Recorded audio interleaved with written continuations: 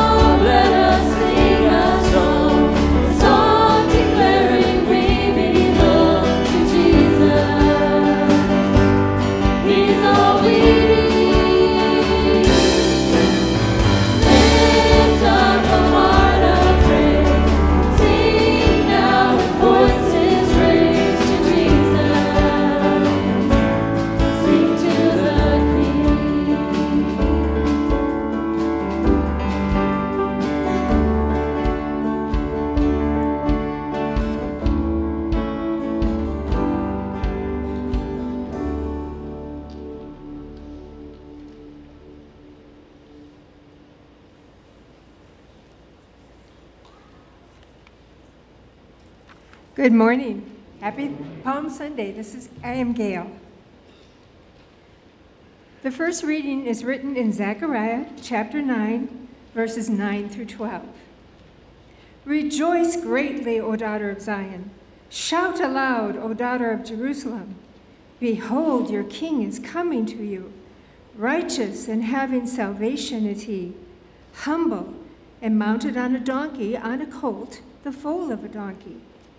I will cut off the chariot from Ephraim and the war horse from Jerusalem, and the battle bow shall be cut off, and he shall speak peace to the nations. His rule shall be from sea to sea, and from the river to the ends of the earth. As for you also, because of the blood of my covenant with you, I will set your prisoners free from the waterless pit. Return to you, stronghold, O prisoners of hope. Today I declare that I will restore to you double. This is the word of the Lord. The second reading is written in James chapter 4, verses 7 through 10. Submit yourselves, therefore, to God. Resist the devil, and he will flee from you. Draw near to God, and he will draw near to you. Cleanse your hands, you sinners, and purify your hearts, you double minded. Be wretched and mourn and weep. Let your laughter be turned to mourning and your joy to gloom. Humble yourselves before the Lord, and he will exalt you. This is the word of the Lord. Thanks be to God. I invite you to stand as you are able for the reading of the Holy Gospel. The Holy Gospel according to Mark, chapter 11, verses 1 through 10. Glory to you, O Lord. Now, when they drew near to Jerusalem, to Bethphage and Bethany, at the Mount of Olives, Jesus sent two of his disciples and said to them, Go into the village in front of you, and immediately as you enter it, you will find a colt tied, on which no one has ever sat. Untie it and bring it. If anyone says to you, Why are you doing this? say, The Lord has need of it, and we'll send it back here immediately. And they went away and found a colt tied at a door outside in the street, and they untied it. And some of those standing there said to them, What are you doing untying the colt? And they told them what Jesus had said, and they let them go. And they brought the colt to Jesus and threw their cloaks on it, and he sat on it. And many spread their cloaks on the road, and others spread leafy branches that they had cut from the fields. And those who went before and those who followed were shouting, Hosanna! Blessed is he who comes in the name of the Lord. Blessed is the coming kingdom of our father David. Hosanna in the highest. This is the gospel of the Lord. Praise, to you, O Christ. Please be seated. I invite the children to come forward at, during the next song for the children's message.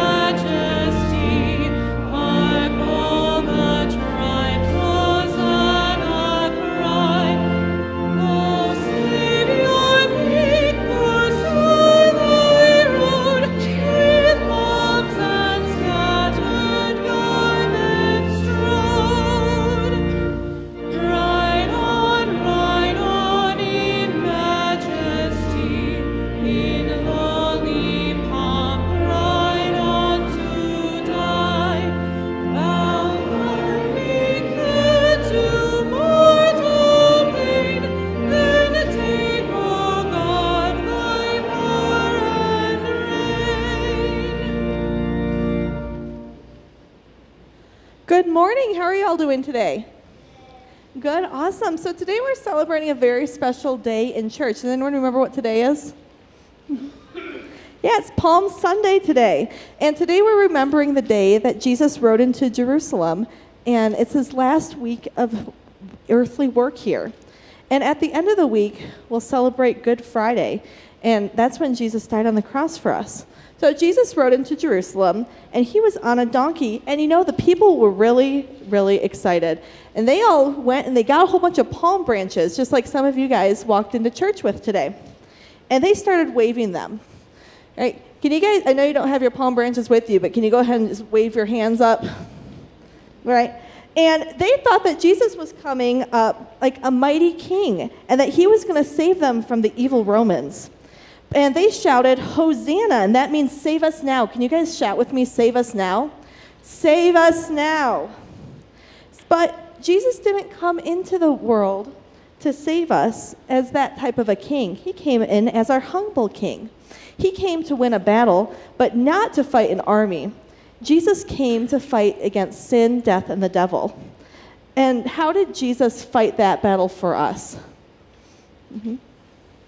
Right, by dying on the cross for us. And not only did he die on the cross for us, he rose from the dead three days later. And he defeated sin, death, and the devil. Right, so let's go ahead and wave our hands and our palm branches again and shout, Save us now. Save us now. Like, can you pray with me? Dear Jesus, you are the King of glory. You are our King. Thank you for dying on the cross to save us. Amen. Thank you all so much for coming.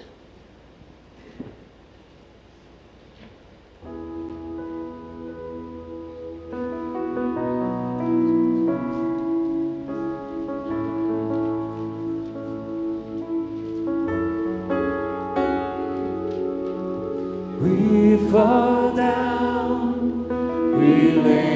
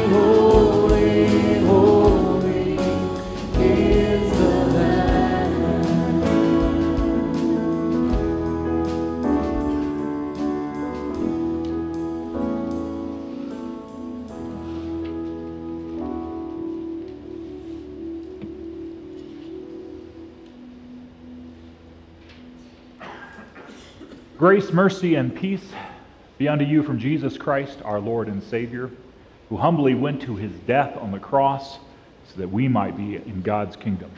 Amen. Our sermon text for today is from Zechariah. I'd like to read it for you. Uh, I'll read verses 9 through 12. Rejoice greatly, O daughter of Zion. Shout aloud, O daughter of Jerusalem. Behold, your king is coming to you, righteous and having salvation is he, humble and mounted on a donkey, on a colt, the foal of a donkey. So far, our text. What is humility? That is a word that, one, most people today do not know about. They will say they're humble, but they're patting themselves on the back, right? That's the person who says, Hey, I'm humble, and where's the button, right? And you're like, That's not quite right. Humility is something different. Now, in the English language, humility usually means uh, to put somebody above yourself and place yourself lower than they are. That's kind of a meaning of humility, but not the meaning of the text in Zechariah and also in the Palm Sunday entrance, what humility is. Humility in the Bible is to show great strength without harshness. Showing great strength without harshness. A humility. To be underneath someone's control, to say, I'm strong in doing something, but I'm not going to broadcast it to people. I'm not going to show it or shove it down their throats. That's what biblical humility is like. That's what the word is here. That's what it is in the Old Testament. I once saw a poster that I loved, and I used this, is that it showed humility as a gentleness or meekness. That's another word you might tag with it. But it means not being so lowly that you're getting kicked or you're getting abused, but you're strong in doing it. And the poster that I saw was this it had a person who was very well built with muscles. And he had his arm out flexed and you could see the biceps, you could see the muscles straining, and in the crook of his arm was an infant. And the message was gentleness is strength. That's what we're talking about here with Jesus Christ coming in. Gentleness is strength. It's a phrase that I've used quite often in our preschool and also preschool at Shepherd. When people come up at the end, I try to give the kids a, a time to interact with their pastor, and I'll say, okay, it's time uh, for high fives and knuckle bumps and group hugs. And little kids always want to show how strong they are by giving you a high five, right? To break your hand. And I will move my hand out of the way and I will say, No, gentleness is strength. And they'll look at me and, like, what does that mean? I'm like, gentleness is strength. This is what humility is. This is what Jesus Christ is when he's coming into Jerusalem. In fact, it's what his life is about. Behold, your king is coming to you, righteous and having salvation, humble. Jesus showed humility at his birth. Scroll all the way back born and placed in a manger, humble, great strength. The angels come and declare who he is to shepherds and say, Pay attention to the strength of the Savior who has come, Christ the Lord. At his birth, humble, showing great strength, but not showing it in your face. In fact, so humble that he would even go to the point where King Herod would want to kill him and he and his family leave as an infant. Behold, your king is coming to you, gentle, riding on a donkey, humble, coming with salvation and righteousness. Jesus' baptism, humility, where we see Jesus Christ coming into the water. Now, we see some great effects of his baptism, where we hear God's voice. Listen to him, this is my son. But he comes out in a very simple way, in a way of washing, in a way of going out into the Jordan River, and immediately in humility, showing great strength and gentleness. He goes out into the wilderness and is tempted by his own creation, by Satan, who he was in charge of, the Son of God. The one who's on the throne, who's come down for our benefit, and says, in patience and gentleness and meekness, having a conversation with one who wants to destroy him. Behold, your king comes to you, bearing salvation, righteous and humble. We see Jesus Christ in his ministry, and we see this a lot This is what confused people because they said, well, this is the Messiah, this is the Son of David. He should be coming in and just kicking down the doors. He should be telling Rome what to do. And he comes in, he says, No, I want to teach you God's word. I want to go to the synagogues. I want to go out into the byways. I want to heal. I want to go to the people who are decrepit. I want to go to the people who need God, who are broken in spirit, who have nowhere else to go except for God because that's what faith is. And Jesus Christ comes humbly to them. Can you imagine that?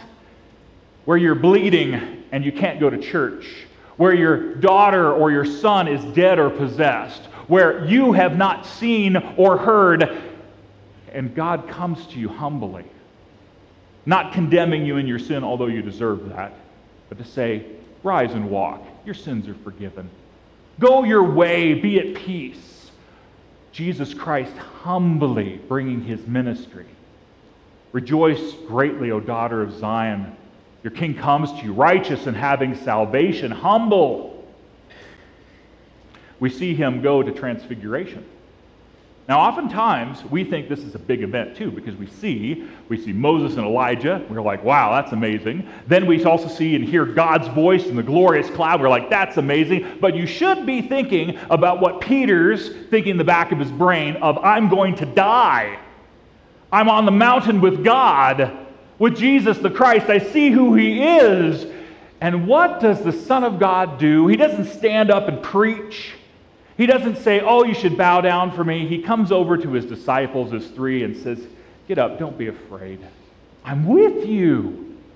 Humility, strength in gentleness, showing this great strength without putting it in your face. And then Jesus Christ goes to the cross. He starts setting his face toward Jerusalem in humility.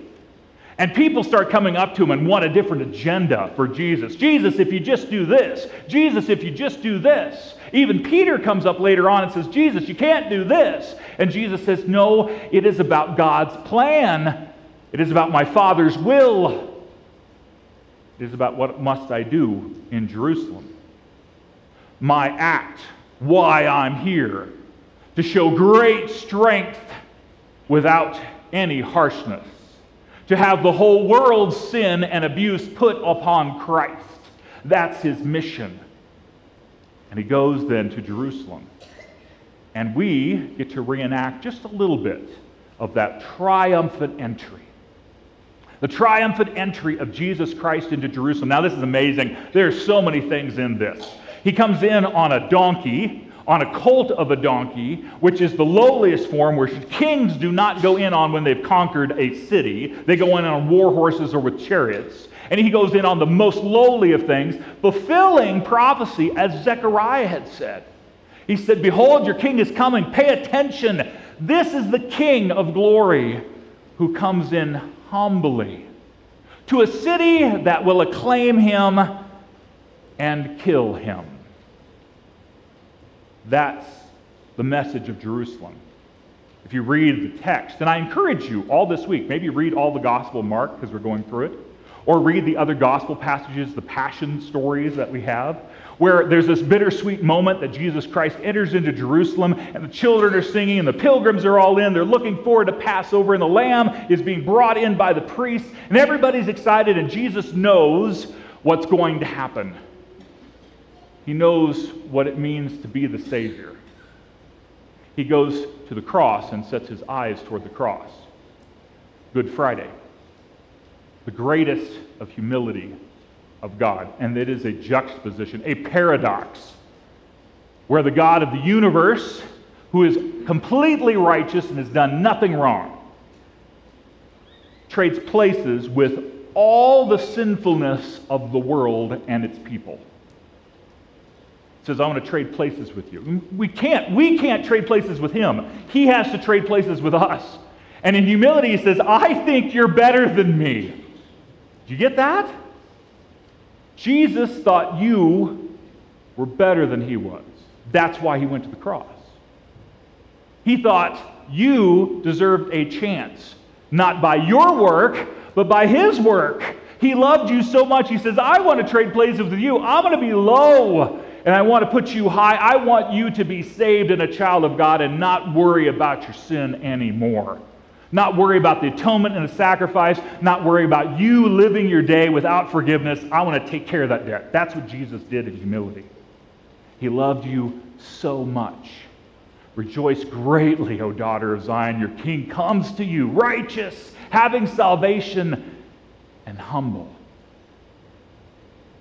Today, Jesus comes to you humbly.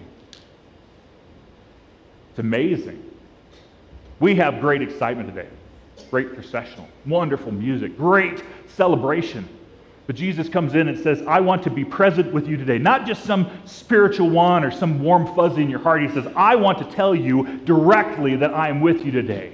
I'm going to come to you in some simple means, like water in your baptism. But you go, that water's not special. It's not blessed by Pastor Z. It's not taken off a shelf and cost thousands of dollars. It's just plain water with God's amazing word. And he says, Jesus is there. His spirit is there. You're a child of God. Remember that. And then you heard some amazing words today. God's word in Scripture and God's word of you are forgiven today. That's humble. So oftentimes we think we have to have this big pomp and circumstance, and Jesus says, No, I just want you to listen listen to a very still, small voice. Jesus forgives you. You're done. The cross is taking care of everything. God the Father has wiped your debt clean. You are a forgiven child of God. Hear it, live it, rejoice. He comes humbly with bread and wine. Oh, that's an amazing gift. Can you imagine that? You say, okay, if you thought of all the foods on the whole planet and said, which food would God identify with? And you go, oh, maybe it's this fruit that's wonderful that you can only find that's very rare. Or maybe it's the best of meats or the best of alcohols. And you go, no, this is just simple bread and wine. This is just simple Passover meal that started it. But when Jesus says, I am there, this is my body and blood, we marvel. We go, what an amazing, humble God we have that would come and serve us today that he would come and be with us to forgive us our sins and say, Wherever two or three are gathered, I'm with you. Come eat the festival meal. Come celebrate as a child of God and continue to do so until he comes back again. That's what we have as a humble king. That's what it means to rejoice so greatly, daughter of Zion. Let me read the text one last time. Rejoice greatly, O daughter of Zion. Shout aloud, O daughter of Jerusalem. Behold, your king is coming to you, righteous and having salvation is he, humble and mounted on a donkey, on a colt, the foal of the donkey. Hosanna, Hosanna in the highest. Blessed is he who comes in the name of the Lord. Amen. We continue with our offering.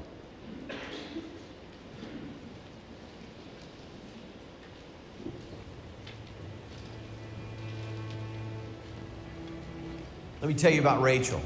She's 21, just graduated college, summa cum laude. She's funny, a bit too studious, according to her boyfriend, and she tells everyone she knows that they need to be trained in CPR. Oh, and she'll take a trip to France one day, and she'll tell stories about it for the rest of her life. This party, it's meant to celebrate her first real job. It's a entry level position but it does provide a steady income. It also provides a retirement plan and even comes with dental. Seems that she's well on her way. What nobody here today could possibly know is that she will become department manager in just six months. She'll start running marathons. She will get married and become a mom. She'll walk her friend Teresa through a chronic illness. And after all that, become CEO of the company. You see, her family and friends are celebrating what is with no idea of what is to come. It's very similar for Israel on that first Palm Sunday. You see, they all line the streets, crowds fighting for the best view of the king, who would be even greater than King David himself. They prayed so long for generations they prayed. And here he was, And so, that's why they grabbed their palm branches, right? And they celebrated him because in their minds, he was going to free them from Rome. And so they all shouted the same thing Hosanna! Hosanna! Blessed is he who comes in the name of the Lord. They celebrated what they knew about Jesus that he was a good teacher, that he was a miracle healer, that he was a divine prophet. But what they couldn't begin to imagine is he rode into town that day, he would be the fulfillment of prophecy, would bring healing for sin. He would show the world what love truly is. They had no idea that the one riding through town was the King of Kings all over the world. The past kings, the present kings, the kings to come, King of all kings. Paul said it so well in Ephesians 3, verses 20 and 21, when he said, To him who is able to do more than we could ever hope for or imagine, to him be the glory through all generations, forever and ever. And so, just like them, we cannot imagine what is to come. But as we join in the chorus of their voices, celebrating what Jesus has done, may we also celebrate the God, the Savior, the King of all kings, who can do more than we could ever imagine.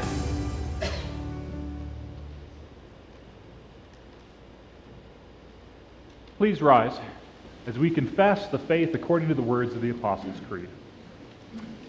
I believe in God, the Father Almighty, maker of heaven and earth, and in Jesus Christ, his only Son, our Lord, who was conceived by the Holy Spirit, born of the Virgin Mary, suffered under Pontius Pilate, was crucified, died, and was buried. He descended into hell. The third day he rose again from the dead. He ascended into heaven and sits at the right hand of God the Father Almighty. From thence he will come to judge the living and the dead. I believe in the Holy Spirit, the holy Christian church, the communion of saints, the forgiveness of sins, the resurrection of the body, and the life everlasting. Amen. We pray. Jesus, King of glory, you entered Jerusalem in humility and meekness. You did not come to fight armies or set up an earthly kingdom. You came to bring salvation, to, to suffer, to die on the cross as the atoning sacrifice for the sins of the world. Jesus, humble King, Set your cross before us to guide us in humility. Jesus, King of glory, during this Holy Week, we will follow you as you take up your path to the cross. We will receive the gift of your body and blood in this Holy Supper. We will follow you to Gethsemane and watch with you through your betrayal, arrest, and condemnation. We will see with the eyes of faith your humble death and victorious resurrection. Jesus, humble King. Set your cross before us to guide us in humility. Jesus, King of glory, lead us to walk in your steps in humility and love. Teach us to put others first as you put our needs ahead of our own. We want to follow you, our King, and to pattern our lives after your life. Jesus, humble King. Set your cross before us to guide us in humility. Jesus, King of glory, look with mercy on those who are suffering in pain, illness, or grief. Especially this day, Lord, we pray for all of us who are gathered and all Christianity that's gathered to celebrate the triumphal entry that you once had into Jerusalem and your triumphal entry into our life. Lord, we thank and praise you for the salvation you have won for us by your death, by your resurrection, by your very presence this day. We ask, Lord, that we might always shout out Hosanna and rejoice because you have saved us through these things. We thank you, Lord, for the gifts and offerings that you have gathered together this day. Lord, we would pray that they would be used for your kingdom and extending your kingdom. We pray for ministry servants, for those who help with our offering and our counters, with those who help with our kitchen, for all those who are behind the scenes and who help and volunteer out of their heart and love. We pray this day, Lord, for Sister Congregation of Emmanuel.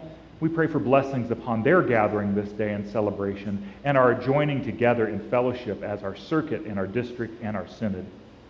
Lord, we pray for East Lake and Valley High neighborhoods. We ask, Lord, for your protection to be upon them, and especially your holy angels to guard and protect us. Lord, we pray for Mercy's Gate, and we pray for Crossfire Ministries, and we ask, Lord, that these ministries of benevolence and care uh, would be an extension of our care to the world. Lord, we pray for your peace, especially in Israel. For so many in Israel do not know you as king, and so many around the world do not know you as king. We pray for physical peace in the Ukraine and other places where they have war and turmoil.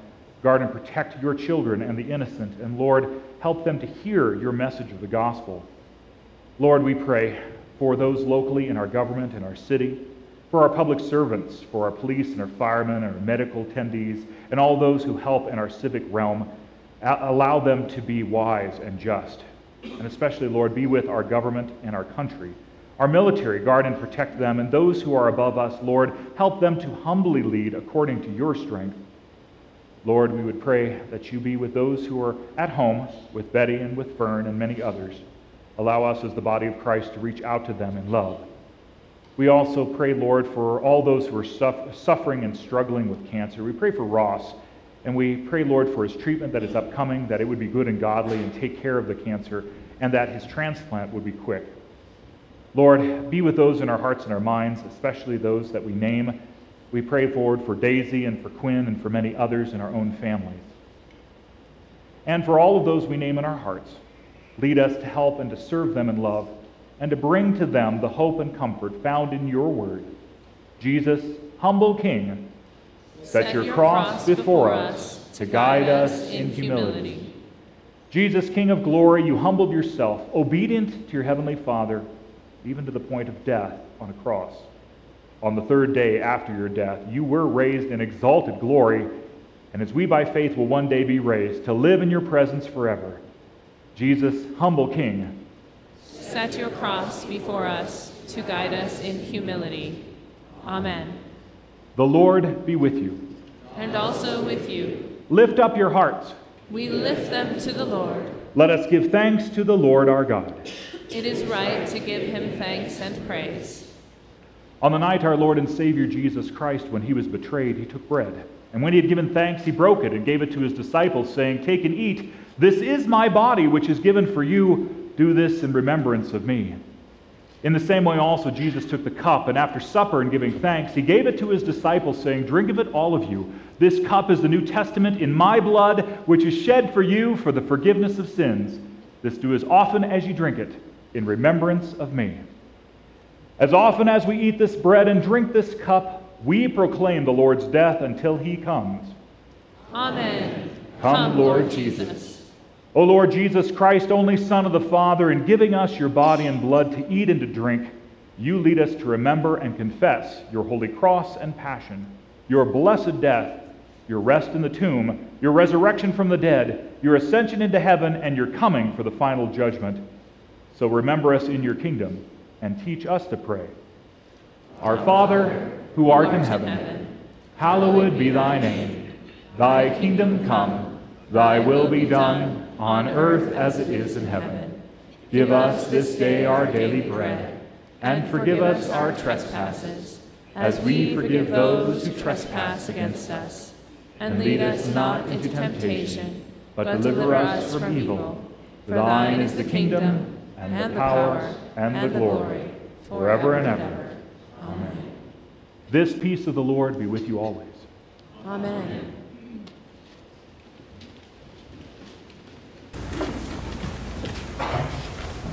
Thank you.